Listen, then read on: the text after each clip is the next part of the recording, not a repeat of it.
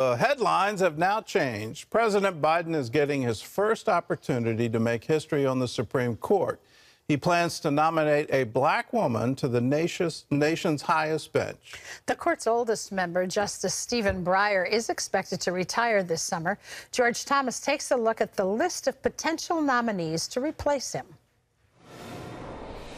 President Biden and Justice Breyer are expected to announce his retirement at the White House today, paving the way for the president to keep his pledge to nominate the court's first African American woman. The president has uh, stated and reiterated his commitment to nominating a black woman to the Supreme Court and certainly uh, stands by that. I would like to start uh, by expressing my sincerest gratitude to you, Mr. Chairman. Set to top the list of potential picks is Ketanji Brown Jackson, who got three Republican votes, including South Carolina's Lindsey Graham, when the Senate confirmed her to the D.C. Circuit Court of Appeals last June. Also on the list is Leondra Kruger of the California Supreme Court, J. Michelle Childs, who serves on South Carolina's federal court, and Judge Leslie Abrams Gardner of the U.S. District Court of Georgia. Justice Breyer's departure won't shift the court's 6 3 conservative majority, but does come at a critical time for Democrats who've been pushing for the 83 year old senior justice to retire. It comes at a time when the Democrats have the slimmest uh, the slimmest control of the Senate, where uh, a new justice would have to be confirmed, and that's also just in advance of midterm elections, where that uh, that majority is very much in question. So help me God. Congratulations, Justice. Breyer was known as a centrist during his 27 years on the bench, but he consistently voted with the liberal wing of the court. One of Judge Breyer's most important cases was in 2000, when he wrote the majority opinion striking down a Nebraska law outlawing partial birth abortion. Human Rights Campaign, a pro LGBT group, uh, calling him a, a wonderful hero of the movement. And you just go down the list Planned Parenthood, the ACLU, uh, all with very, very kind words. Top Senate Democrats say they'll move quickly to confirm Biden's nominee, even if Breyer does not officially step down until the summer. And despite a 50 50 split in the upper chamber, most experts aren't expecting a rancorous fight. We're not going to have the Brett Kavanaugh fireworks, and we're not going to have any of that uh, for sure, or even the Amy Coney Barrett fireworks, and for that matter, not even the Neil Gorsuch fireworks. George Thomas, CBN News. Well, with us now with more on this story is Michael Schietzelt. He's a senior fellow at the Robertson Center for Constitutional Law at Regent University. So, Michael, let's talk about legacy. What's the legacy of Justice Breyer? Well, Justice Breyer's legacy, first and foremost, you have to remember that Justice Breyer was an academic before he was, he was nominated to the court. And he's, he's shown what the, the, the, pros and cons are of nominating an academic to the bench. On one hand, he was very thoughtful, very respectful of his colleagues. He was willing to engage with the toughest intellectual questions that came before the court. But he also had a tendency at times, as academics do, to tie himself up in intellectual knots. So uh, people have been shy to nominate academics following Justice Breyer.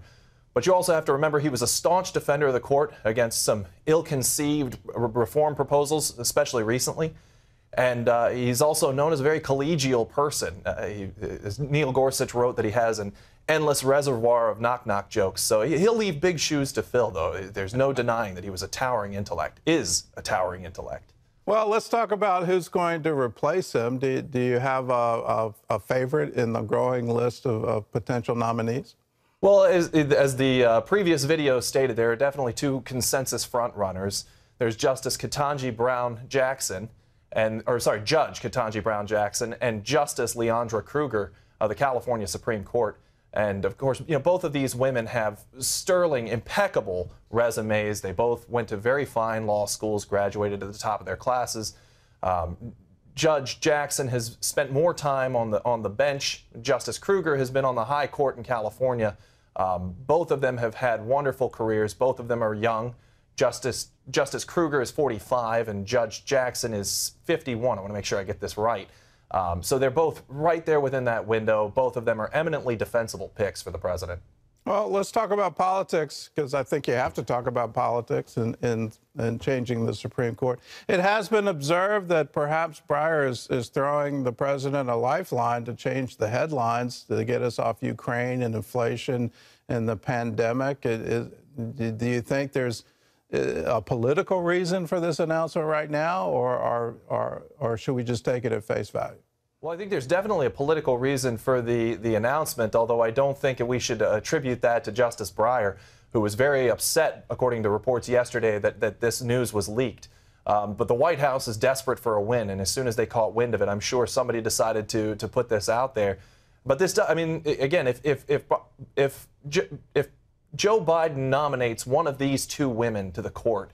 Um, again, it's an eminently defensible pick. They should sail through confirmation unless something really crazy comes out. And I, I just don't foresee that happening. So this has got to be welcome news for the Biden administration. Um, and, and, yeah, I think I think this is a, an easy opportunity to rally the base for him by by fulfilling a campaign promise, and also to to demonstrate at least a semblance of competence that he can get something through the legislature. Do you think Republicans are going to be looking for payback for some of the claims made in pre uh, previous judicial nominations? Are they going to try to do a tit for tat? Yeah, I, I, don't, I don't know if they will. I, definitely don't think they should.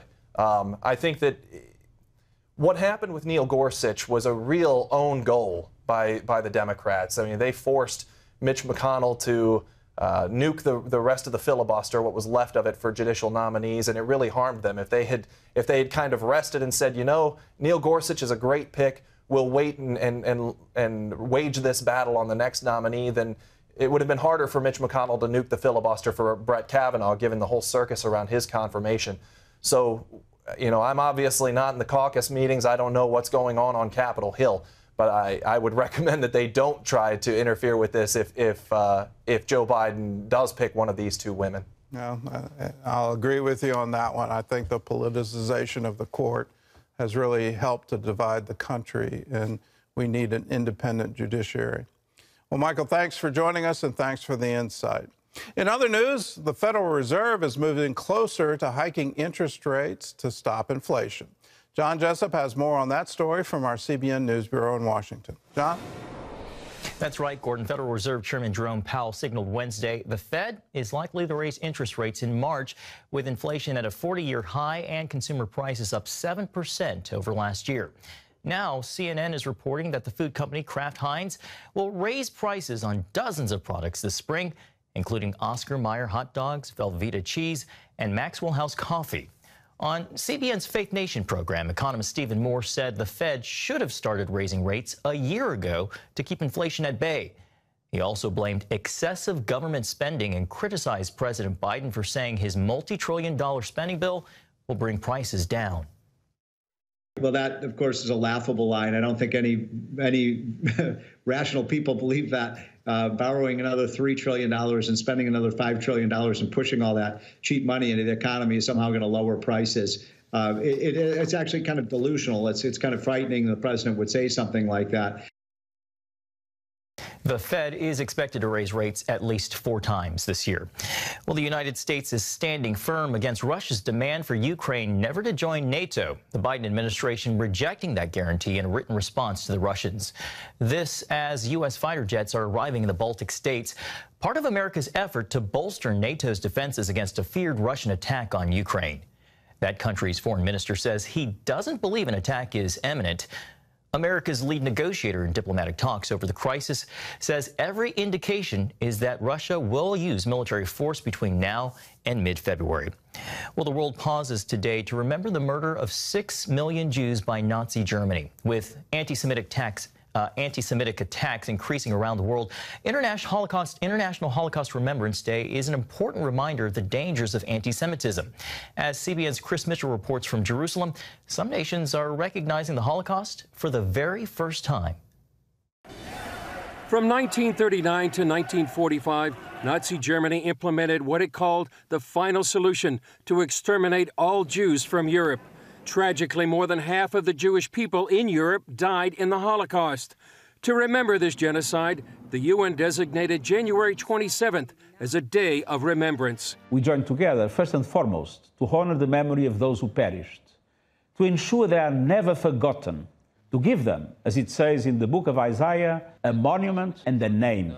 Yet, during a recent vote on a UN resolution combating Holocaust denial, Israel's ambassador to the UN warned the Holocaust is fading from the pages of history. Friends, only 54% of the world population has heard of the Holocaust, with one third of them skeptical of the facts. Some of them believe that the deaths have been exaggerated, while others believe that the Holocaust is a complete myth. Despite that, there is remarkable change in the Middle East this year as Egypt and the UAE mark the first ever Arab commemorations of the Holocaust. It's a wonderful development to see this relationship between the Arab world and Israel uh, getting to the point where, where we are seeing Holocaust commemorations. Kohanim says it's all due to the change the Abraham Accords have brought to the Middle East we've seen a brand new face of the Middle East, and that is a face of acceptance of the Jewish state of Israel and acceptance of the Jewish people's sovereignty in the Middle East. And with that, really um, just a sea change in attitudes towards Jews and Israel. Kohanim and others say it's important to remember the Holocaust because they say the hatred that starts with the Jews never ends with the Jews. Chris Mitchell, CBN News, Jerusalem. That mantra, Gordon, never forget, and just uh, that statistic that more than half of the world's population has never even heard of the Holocaust, hard to believe. Well, it's hard to believe that the number one religious hate crime in America is against Jewish people. But these are the facts, and we need to honor the, the facts and never forget uh, and never again. Uh, let's make sure that we never have this kind of Holocaust again in human history. It, it should not happen. This is a very historic moment for Egypt to recognize Holocaust Remembrance Day. That is a sea change. Uh, you go back to the 40s, the 50s, the 60s, uh, the Six Day War, all of the conflict between Egypt and, and Israel, the pledge to wipe uh, Israel off the map uh, to have Egyptian troops uh, march on the streets of Jaffa. It's incredible to see this change, and it, it would be wonderful to see this in Ramallah as well and in Gaza as well, that they come to peace and they recognize Israel has a right to exist. The Jewish people have a right to self determination. Uh, let's recognize that right and come to peace. The Abraham Accords is absolute sea change in the Middle East. Uh, it's amazing how many countries are, are, are signed on to it and about to sign on to it. We just need to keep moving in the direction of peace. Two vaccinations plus a booster, and you still may be banned from eating in restaurants, even outdoors. That restriction and others are what many students are facing on college campuses due to the Omicron surge. And some of those students are now pushing back. George Thomas explains. For supposedly smart people, they're acting in a very unscientific and stupid fashion. That's Senator Rand Paul's take on what's happening today on a growing number of college campuses. Take this quote, for example Forget making college memories at Yale. They want to control every aspect of your life, even after two vaccine doses and booster, lol, wrote Blair Cooper on the Yale Daily News' Facebook page after the university announced this month that it's banning students from eating at local restaurants, even outdoors, to try and cut COVID numbers. At Princeton, fully vaccinated students were told in December they couldn't even leave the county unless they were on a sports team. And at Johns Hopkins University, students are required to be triple vaxxed, wear N95s or double mask, and test twice weekly. Dr. Marty Makary, a Johns Hopkins surgeon and professor, weighed in, writing, at these institutions of higher learning and thousands more, science is supposedly held in the highest esteem. So, where is the scientific support for masking outdoors? Where is the scientific support for constantly testing fully vaccinated young people? Where is the support for the confinement of asymptomatic young people who test positive for a virus to which they are already immune on a campus of other immune people. The data simply do not justify any of it. Senator Paul couldn't agree more. I think the mask mandates are wrong-headed and unscientific, but also these draconian things that they're asking of students. I think it's unfair to the students. But really, parents need to wake up. Quit sending your kids to Yale and Princeton if they are a bunch of authoritarians. As Omicron continues to surge and universities double down on COVID restrictions, Senator Paul and others say the science simply isn't there to justify the restrictions. Under 18, the death rate's about one in a million. And above age 80, it's about a thousand times that. It's ridiculous to apply the same precautions that we are prescribing for the elderly to the young. The latest CDC numbers show more than 2,100 people between the ages of 15 to 24 died of COVID in the last 12 months, while 1,900 people died of pneumonia in the same age group. Those age groups, it's less deadly than the seasonal flu. So for the seasonal flu, we've never mandated testing, we've never mandated masks, we've never mandated inoculation for the younger folks. It's why Tice Pat and 14 of his fellow students are suing Ohio University over their COVID protocols, including their vaccination mandate, claiming it's discriminatory. You don't have the vaccine and you got a approved exemption you're required to test weekly. You're required to do things that other people that did get the vaccine aren't required to do. And that's illegal under Ohio law. Pat argues that OU's rules violate both state law and the Ohio Constitution by not allowing students to exercise their consent to medical treatment. Best thing we can do for students is give them the choice. Putting these blanket orders over everybody and saying everybody has to wear a mask, to get a vaccine, and take a test, and that's the only way to beat COVID, is anti science and honestly dangerous. Warner Mendenhall, Tice's lawyer, has filed similar lawsuits against other Ohio universities. His clients have described to him what happens when students test positive on some campuses. Whether or not they're symptomatic, if they test positive on the test, their key cards are shut off. So they can no longer go to class, go to their dorm room, go to the uh, dining hall, go to the gym, go to the library. They have to report to a uh, COVID dorm where there is not proper food or water, or they can go home. And I, that is just wrong. Molly Noble, a parent of an OU student, has joined the class action lawsuit. They need to start looking at the physical and emotional and psychological effects that this is having on this population. Surveys show the pandemic continues to have a major impact on students' mental health. Society is impacted by this pandemic, and we don't yet know uh, the total outcomes of what this is going to do for any generation. Mendenhall says it's time for the country to prepare for a potential new reality that the virus is here to stay and that campuses should also rethink its battle lines going forward. It is not a controllable thing. So we need to let that whole story go. We have to live with this. We have to live with this illness. I do think that within a couple of months, so many people will have had this new variant that uh, immunity will be so widespread that hopefully we'll be able to get beyond this uh, pandemic. George Thomas, CBN News. Well, I'll disagree with that one that I don't think immunity is really going to take hold. And the reason is the virus mutates. And in that mutation, uh, the, the, current immunity won't apply to future mutations. We're already seeing that with Omicron, where you can be fully vaccinated, boosted, you can have even caught uh, COVID, and you can still get reinfected. So uh, the the solution here and the the look forward is uh, how do we live with the virus, uh, and how do we function as a culture. Uh, and it's very unfortunate. I don't think the future is going to look back at this time and think we're particularly intelligent in our response.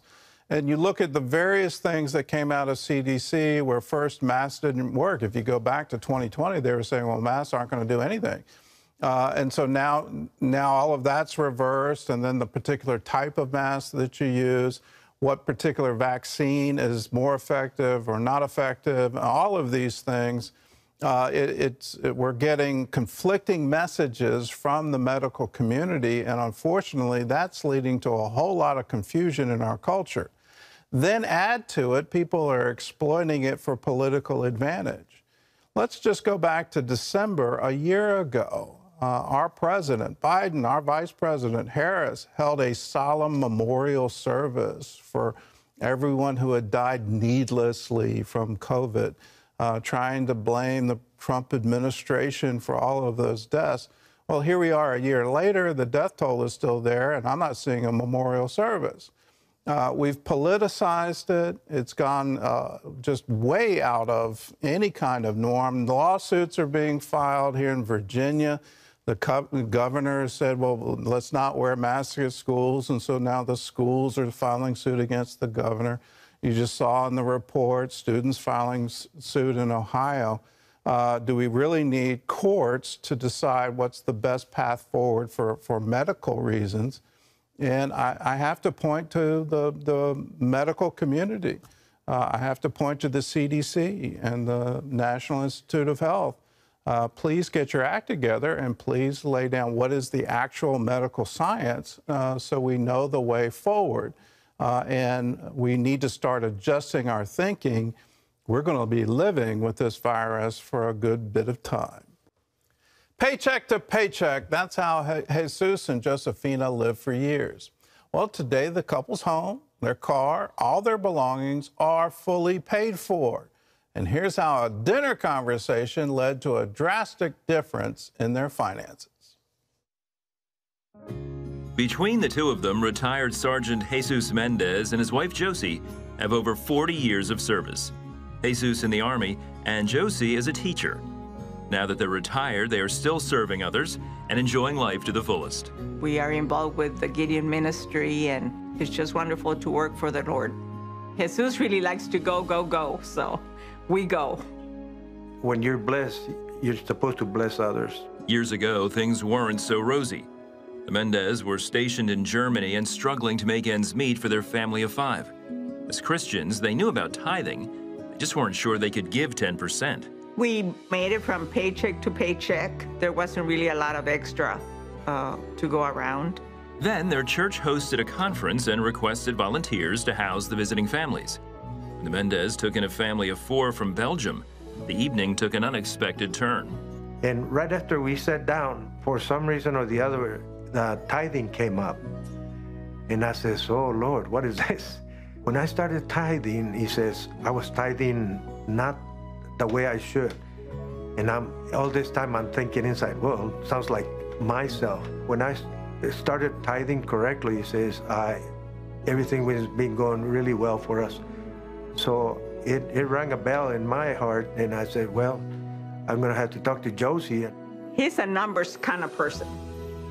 So, you know, when he came and told me we're tithing, I knew it had to be God. The very next week, they started tithing 10% of their gross income.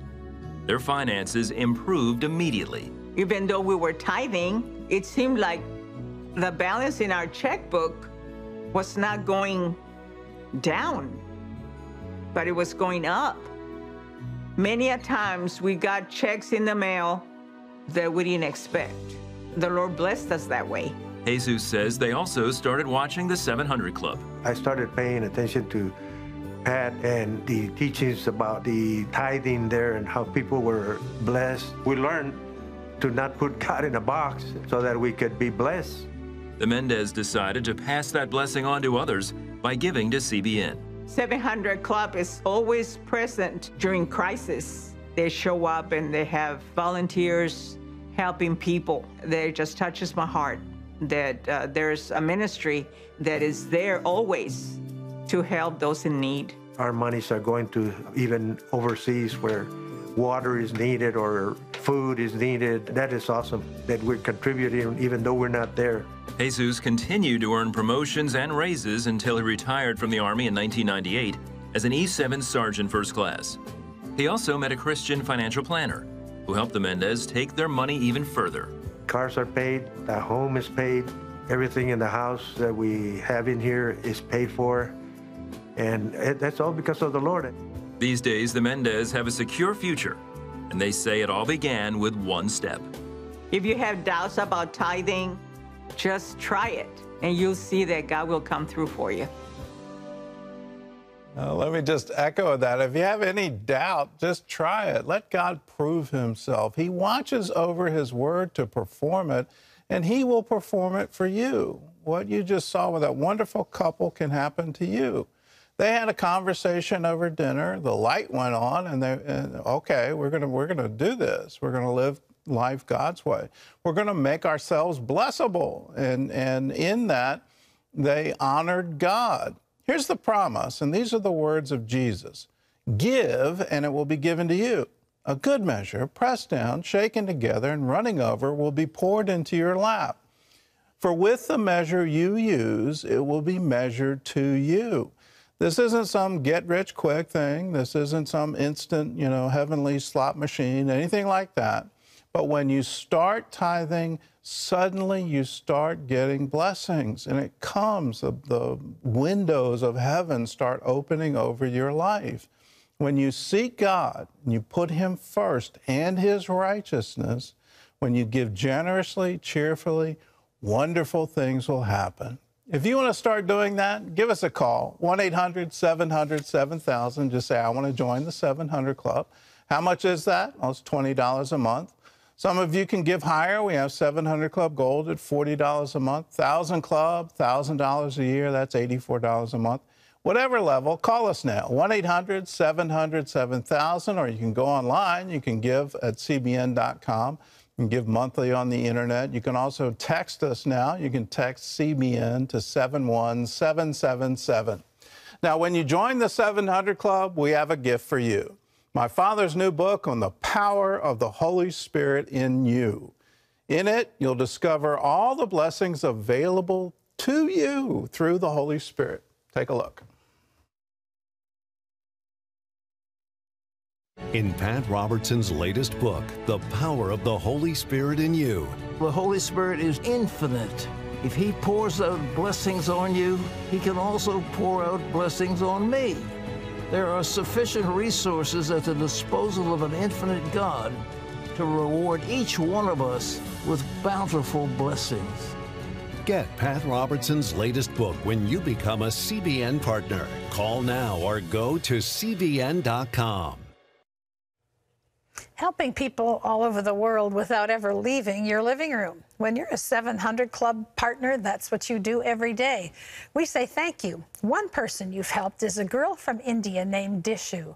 Burns from a fire had disfigured her legs and made it difficult for her to walk. But what's worse, her widowed mother had no money for the surgery that her daughter desperately needed. When Dishu was four years old, she fell into a cooking fire and burned both of her legs.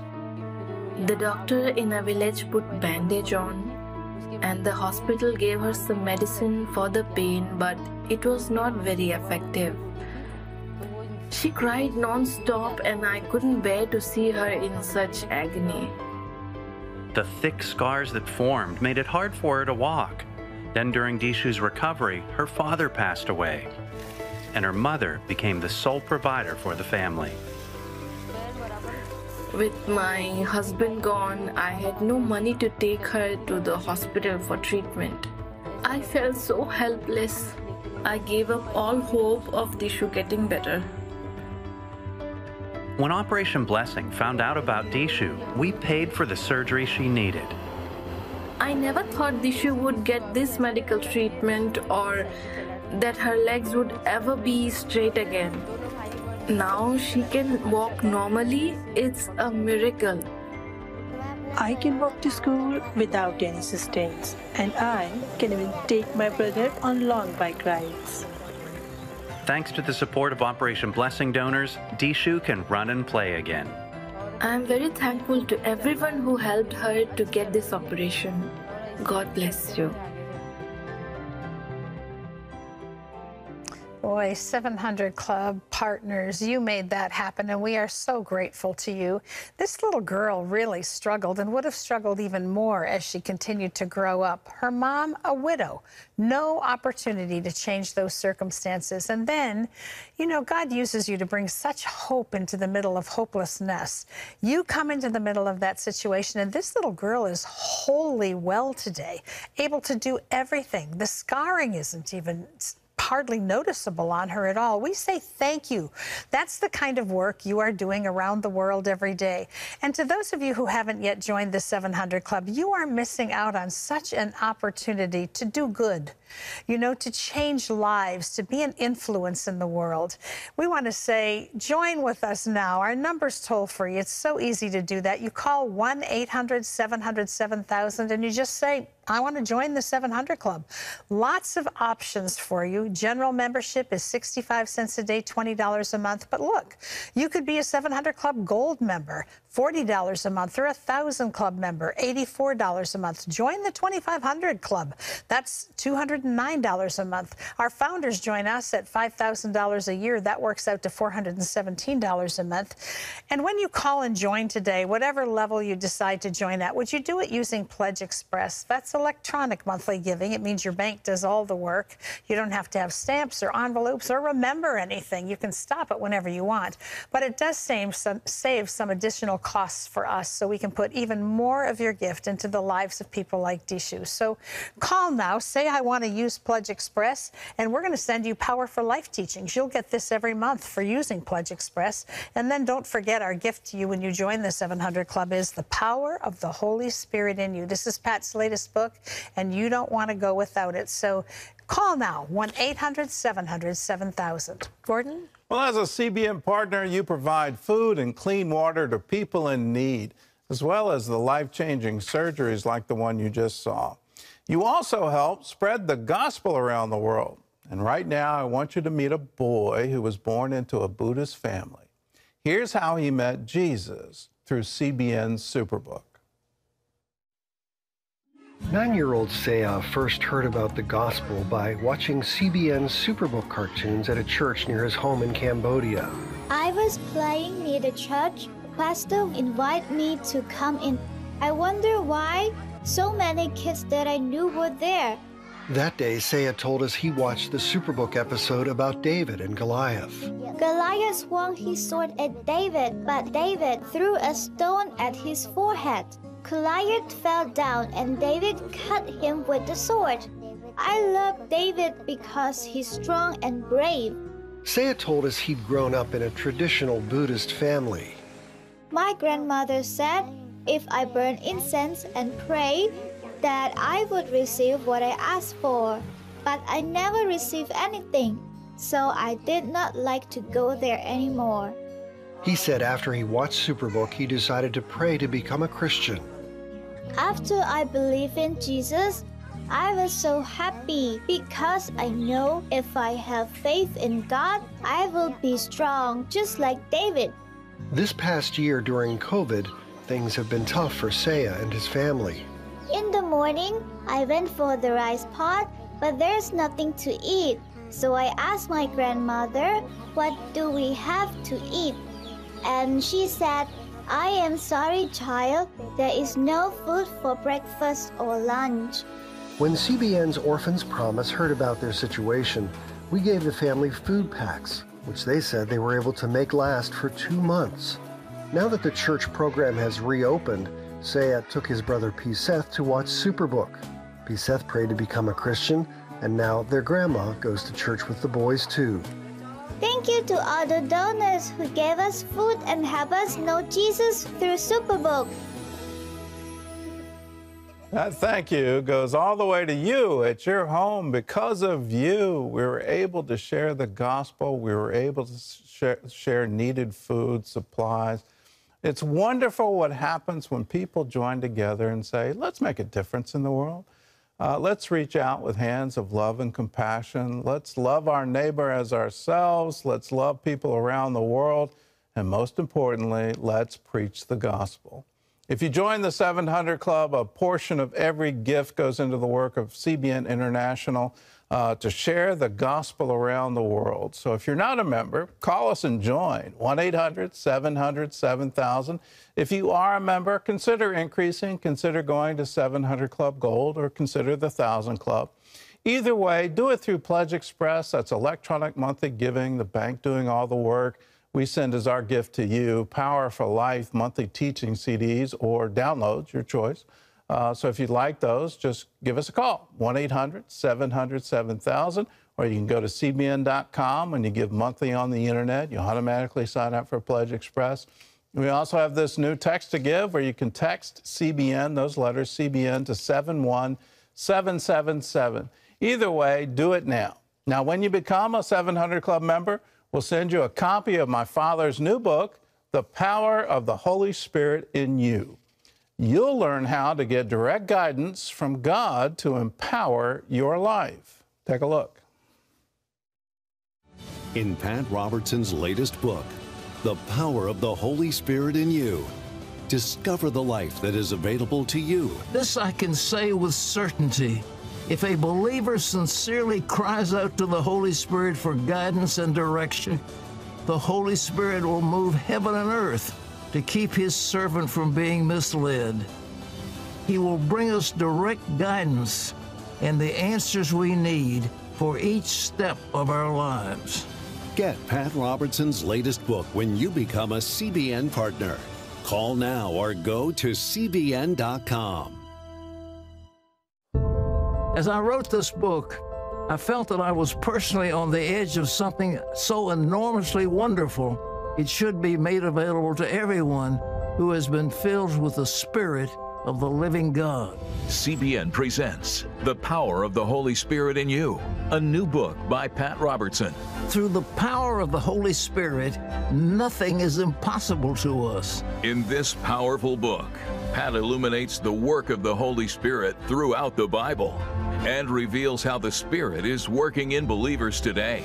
I marvel at the strength God gives His people when we realize that the Spirit of God will go like a mighty warrior before us and that none of our enemies can stand against us.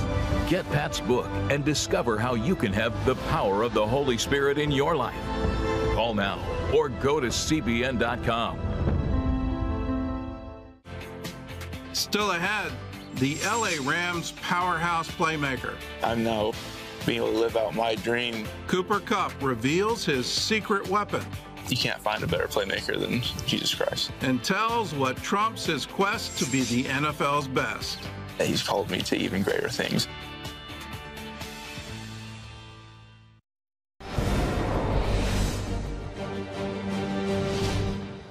Welcome back to Washington for the CBN News break. North Korea reportedly test fired two more ballistic missiles this week. The South Korean military reporting the weapons were uh, probably short range and flew nearly 120 miles before crashing into the sea. North Korea has held six rounds of missile tests this month alone. Observers believe the regime wants to pressure the Biden administration into resuming nuclear negotiations. Well, a winter storm left a dusting of snow on Jerusalem this morning.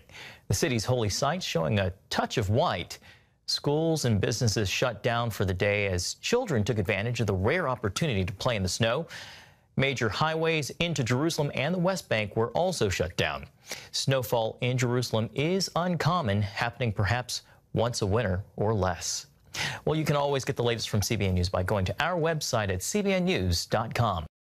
The most catches, receiving yards, and touchdowns during the season. Only four players have earned the NFL's coveted Triple Crown. Los Angeles Rams superstar Cooper Kupp is the latest member of this exclusive club. Sports reporter Tom Beering sat down with Cooper to find out what makes him a number one playmaker. A game can provide a remarkable emerging journey, even at a distance. It has for Cooper Kupp. The Rams' playmaking receiver is shaped by bloodlines from Yakima, Washington's first family of football, three NFL generations worth, while setting multiple college career records from Eastern Washington before making an immediate NFL impact in Los Angeles. So, Coop, your offensive awareness has almost made you a quarterback whisperer, chemistry with your quarterback. What's most important to you about earning trust? Huge. Us to ask the quarterback to sit back there in the pocket, knowing that there's guys bearing down on him. Him just being able to trust that we're going to be at the right spot at the right time, I think is everything in terms of that relationship. And if we're not doing that, you know, that's when you know things got to go off schedule. Now you're asking our quarterback to you know, have to make a play because we're off as receivers. Football's a game about game speed. How do you prepare yourself what that requires? Yeah, well, I think it's just practice. Um, our approach to practice, I think, is paramount. You know, we always say that practice preparation equals game reality. Exactly what we want it to be in terms of our, our tempo and our focus going into that and just being able to execute. You know, when we get to the game, we step on the field on Sunday, we've already performed this over and over again during practice. So much about football is preparation. You go out there on Sunday with a quieted mind, be able to just play the game that you've prepared all week for. Does the tempo and rhythm of football heighten your awareness just translating into life? You're a dad now, you've got no choice probably by that, right? It's interesting because I feel like, you know, sometimes you come into work and you gotta be laser focused all the way through. And that in another way, it's nice to be able to go home and feel like, oh, well, I don't have to be like that right now. But yeah, we do have a one year old now, so uh, I get the 24 uh, 7 training experience. Looking back now, storied, record setting career at Eastern Washington, how did that prepare you for the NFL? Going to Eastern, I had coaches that came around me that never let me become complacent with anything. Yes, this is good, but this is how you can be better. Was just calling me to something greater than I'm seeing for myself. Look at how much better you can be if you can fix these things and get in there and say, well, this was good, how can I be better?